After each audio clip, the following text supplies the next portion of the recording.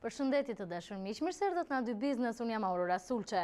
Aktiviteti ekonomik në vend është tkurrur ndjeshëm si pasojë e koronavirusit. Të dhënat e fundit të Institutit të Statistikave, flasin për një rënie të fortë të eksporteve dhe importeve. Sipas statistikave, gjatë periudhës janar-maj të këtij viti, shikni dhe grafikisht, Eksportet ranë me rreth njëzet e katër miliardë lekë, ekuivalent kjo me rreth dyqind e dyzet milionë dollarë, ndërsa importet me dyzet e pesë miliardë lekë ose rreth katërqind e pesëdhjetë milionë dollarë. Shifrat e mësipërme tregojnë për një ngecje të prodhimit Made in Albania që shkon për eksport dhe që është një ndër burimet e rritjes së ekonomisë.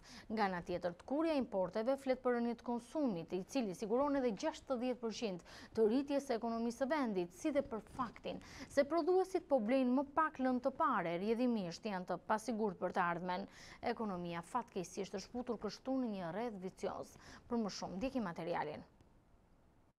Pandemia globale e Covid nëntëmbëdhjetë ka fshirë afërsisht dyqind milionë euro nga eksportet e mallrave shqiptare jashtë vendit nga të cilat sektori më i goditur është industria e prodhuesve të veshjeve dhe këpucëve me një rënie vjetore prej njëqind e tre milionë eurosh për pesë muajt e parë të vitit.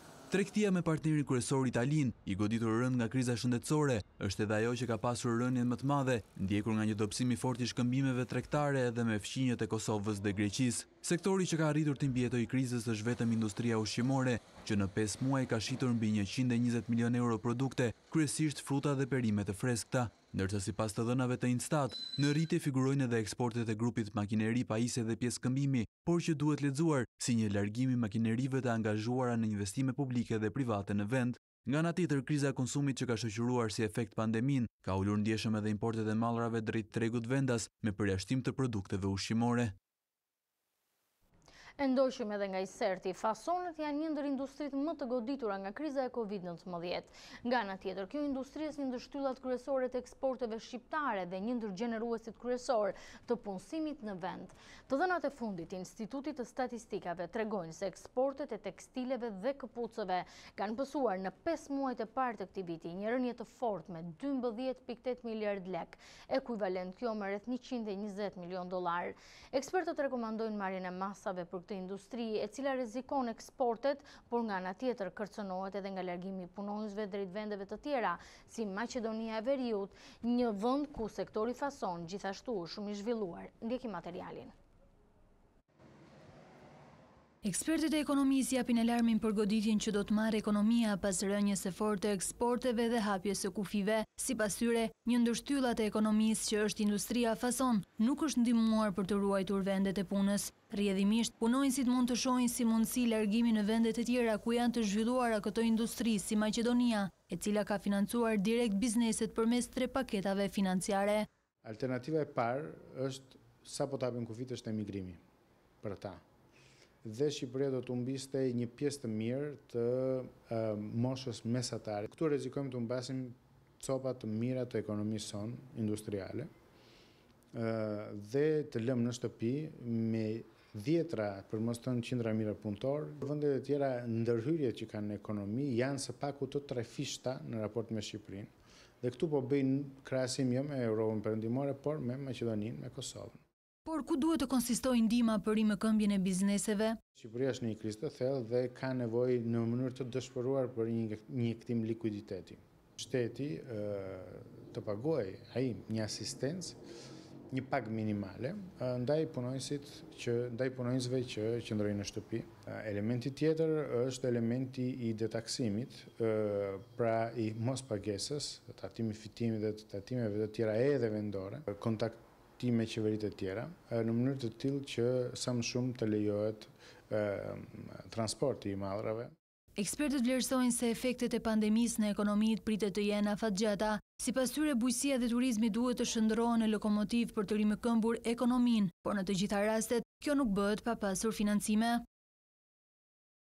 E për të diskutuar më shumë lidhur me situatën në sektorin fason, a ka nisur kjo industri punën me kapacitet të plotë, a ka porosi dhe kontrata nga jashtë, masat që qeveria duhet të marrë për ta ndihmuar. Unë kam në studio zotin Florian Zekja, është përfaqësues i industrisë fason, është një ndër themeluesit e shoqatës Pro Eksport, e cila është bashkim i dy shoqatave fason. Zoti Zekja, mirë se erdhët në A2 Biznes. Si është gjendja e sektorit sot? Mirë se u gjeta Aurora dhe ju falënderoj për ftesat e herëpashershme për të marrë pjesë në emisionet tuaja.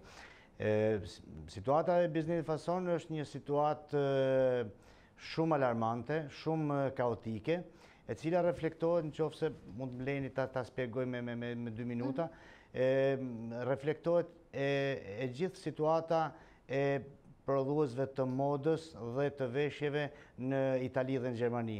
Dhe e njëta situatë normalisht reflektohet në Shqipëri. Atëherë, duhet kemi parasysh që ne në shkurt po ishim duke prodhuar koleksionin dimëror.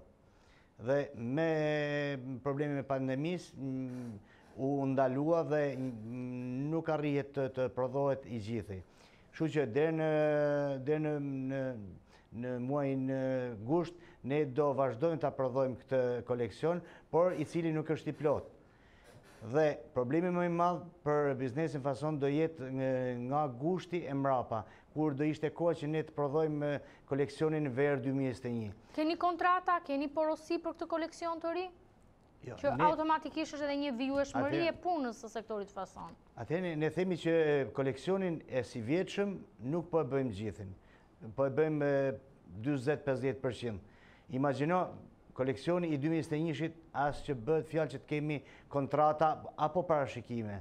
Dhe po të shohim prodhimin e kampionarëve në këtë moment, shihet që ka një që në kampionar ka një reduktim në masën e pesëdhjetë për qind të atyre që do paraqiten për verën e dy mijë e njëzet e njëshit. Kështu që kontrata dhe dhe parashikime për 2021-shin nuk bëhet fjalë që të kemi.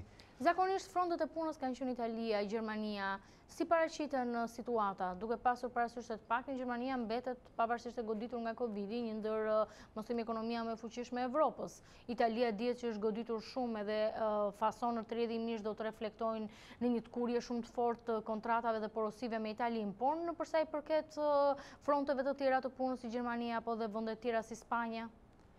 Italia e ndjeu efektin e pandemisë që në momentet e parë dhe normalisht u ndërprenë një pjesë e mirë e kontratave, të themi 50% të kontratave. Gjermania vazhdoi për inerci, Por, me informacionet që kemi kohët e fundit, shohim që edhe Gjermania po fillon e ndjen ato goditjet e pandemisë. Themi që një pjesë e mirë e fabrikave ku prodhohen automobilet, kemi parasysh markat më të mira si Audi, Volkswagen, Skoda, kanë ndërprerë punën për një periudhë disa mujore të makinave. Dhe normalisht duke mos punëtorët duke mos marrë pjesë në prodhimin e automobileve, normalisht që nuk kanë nevojë as për veshje. Një një treg shumë i mirë i, i, i që siç ishte Shqipëria. Kështu që edhe e Gjermania po fillon e e, e tregon atë ato efektet e e pandemisë. Dhe për edhe Gjermania e, ka shumë luhatje dhe nuk dihet dhe nuk ka mm. asgjë të sigurt për sa i përket të ardhmes së biznesit tonë. Ndërkaq, ka pasur një shtim të rasteve, fatkeqësisht, në Shqipëri me Covid nëntëmbëdhjetë, dhe gjithmonë industria fason për shkak të specifikave të saj, për shkak të numrit të madh të të punësuarve, le të themi ka qenë ajo që është vendosur në fokus. Shumë raste gjatë muajit prill dhe maj janë konstatuar në në disa nga këto ndërmarrje në në Shqipëri, kryesisht në zonën e Durrësit. Kanë filluar kontrollet tani, janë shtuar tek industria juaj? Patjetër që biznesi fason ashtu si call centrat apo institucionet e tjera ku ka grumbullim njerëzish është një vend ku rreziku është më prezent. Por ne që në fillim që në mes të marsit kemi marrë masa duke duke u munduar të respektojmë si kodin jeshil, që atë e kemi respektuar 100%, mhm, por dhe një pjesë të mirë të kodit të kuq.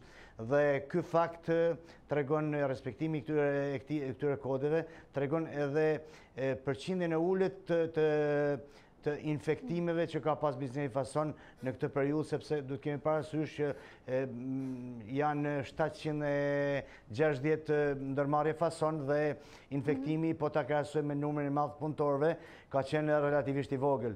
Por, gjithsesi, kontrollet kanë qenë të vazhdueshme, Ka pasur intensifikim ditët e fundit? Patjetër që ka pas një intensifikim dhe më duket edhe normal në momentin që pandemija merr një përshkallëzim tjetër, kontrollet të jenë më të më intensive, por të njëjtin rrezik që ka biznesi fason e kanë supermarketet, e kanë call centrat, e kanë po themi stacionet e policisë, janë gjithë vendet ku ka grumbullim të madh njerëzish. Ne duke qenë se pjesa më e madhe e e titullarëve të biznesit fason janë vetë prezent dhe jetojnë aty brenda, normalisht kanë një përgjegjësi të jashtëzakonshme për ruajtjen e jetës së punëtorëve dhe të ardhmen së punës, por kemi edhe një një një themi edhe një përgjegjësi edhe për veten tonë, sepse ne jetojmë jetojmë në këto ndërmarrje dhe po të ishte puna për për të mos u ruajt, normalisht do rrezikojmë edhe familjet tona. Zoti Zekja, 68 mijë është numri zyrtar i të punësuarve të deklaruar nga industria fason të paktën bazuar në të dhënat e 2019-s. Një numër akoma më i madh janë në shumë industri, në këtë industri në shumë ndërmarrje, të cilat punojnë edhe në të zezë. A ka një shifër se sa është numri i të papunëve që është shkaktuar nga situata e Covid nëntëmbëdhjetë? Aurora, kjo është një statistikë që ne na e kërkojnë vazhdimisht si mm. mediat ashtu dhe institucionet, por gjendja e pandemisë ka pas një një një dinamikë jashtëzakonisht të çrregullt sepse në momentin e parë themi u mbyllën pothuajse gjysma e ndërmarrjeve përkohësisht gjysma e ndërmarrjeve fason. Mbas një muaji, disa u riaktivizuan, disa, disa mbaruan atë punë që kishin në ndërmarrje dhe u pezulluan, kështu që është një një një një shifër jashtëzakonisht abstrakte, por kam përshtypje që mund të lëvizin diku tek 20-25 mijë punëtorë të mm, përfaqësues të këtij biznesi. Qartë, Zoti Zekja, sa jeni ndihmuar ju nga dy paketat e para financiare të qeverisë? Aurora, biznesi fason ta themi, ta themi në mënyrë të qartë, nuk ka qenë konsideruar asnjëherë, në asnjë qeveri dhe as nga kjo, si një biznes që punëson dhe një, si një biznes që duhet të ketë një të ardhme. Dhe është konsideruar si nga ana e qeverisë, po ashtu një pjesë e mediave, si një biznes që i dorës së dytë, që shfrytëzon njerëzit, që punëson njerëzit, Me një fjalë, ne jemi limituar gjithmonë tek material porositësi. Por ky biznes duhet ta kemi të qartë që në qoftë se këtij biznesi nuk i jepet një ndihmë dhe nuk i jepet një një një program i qartë për të ardhmen, për ta kthyer këtë biznes nga material porositës në prodhues. Në në cikël të mbyllur prodhimi. Me cikël të mbyllur prodhimi, ne unë e shoh shumë të shumë të afërt reduktimin reduktimin apo qoftë edhe mbylljen e këtij biznesi. Konkretisht, çfarë masash doni? Çfarë masash nevojiten për këtë industri në këtë moment të vështirë? Atëherë, unë po jap dy versione, dy versione, dy versione, si për periudhën afatshkurtër të pandemisë, po ashtu dhe periudhën afatgjatë për ta kthyer në Made in Albania. Ok, dhe shkurtimisht se jemi në minutat e fundit. Atëherë, për periudhën e pandemisë, mund të marrim shembullin e Italisë. Në Itali ça ndodhi? Në këtë moment pandemije, qeveria italiane po jep grante, grante me me fondo perduto quhen, me me me fonde të humbura që presupozohet që nuk do kthehen më. Jo, nuk do kthehen më. Dhe mhm. normalisht si ndodh, po jua shpjegoj me me me me me një shem. Unë punoj për modën. Unë bëj një kërkesë që të fabrika ime, ndërmarrja ime të konvertohet për prodhimin e maskave dhe e, dhe artikujve spitalorë. Në këtë moment bëhet kërkesa për investim si për makineri, po ashtu edhe për nisjen e punës për punëtorët, për me një fjalë për mhm.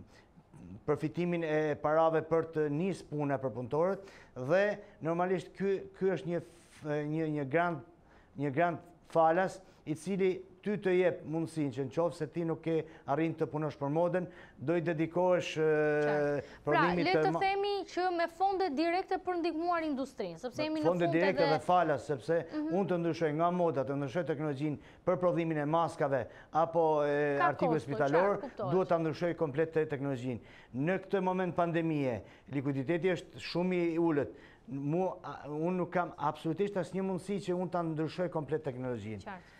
Pra ajo që nevojitet janë para direkte likuiditeti për industrinë. Patjetër. Kurse për afatgjatën, ne duhet kemi, duhet të kemi parasysh që për të prodhuar artikujt Made in Albania, Nuk kemi asnjë farë mundësie, sepse në Shqipëri, përveçse me material porositësi, nuk prodhohet asgjë.